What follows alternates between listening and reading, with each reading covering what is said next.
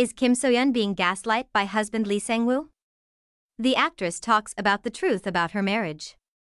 Kim So-yeon took to social media to clarify her controversial remark regarding her marriage.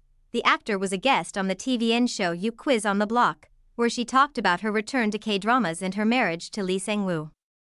Following the broadcast, many on the internet expressed displeasure with the actor's treatment of his wife and said that he is mistreating Kim So-yeon.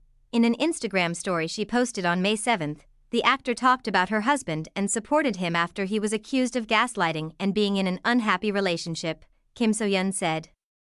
Lee Sang-woo cares for me more than anyone else and thinks about my health. The star gave fans a hint that they shouldn't worry about her marriage, she said, we agreed to do it in early November. As a fun challenge, we started doing that on November 2nd, my birthday.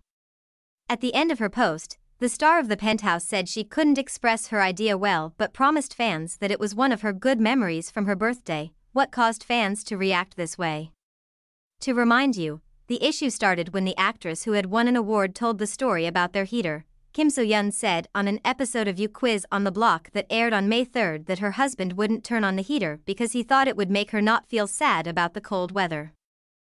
Also, the star said that the temperature inside had to be kept at the right level, the actress also talked about a time when it was too cold and she wanted to turn on the heater from the end of September to the beginning of October, but Lee Sang-woo wouldn't let her.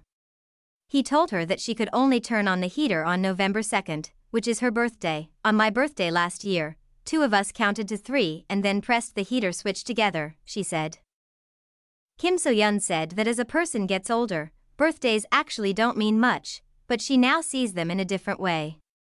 She added, I thought, oh, there's a good thing on my birthday, referring to the heater story. Because of this, people thought that Lee Sang-woo doesn't care about his wife's health, which they found strange.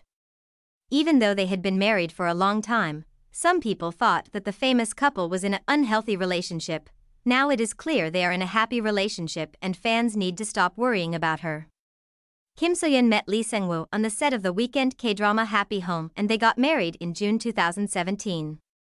In a past interview, she said that getting married was a turning point in her life. Thanks for watching. Please subscribe to this channel for more videos.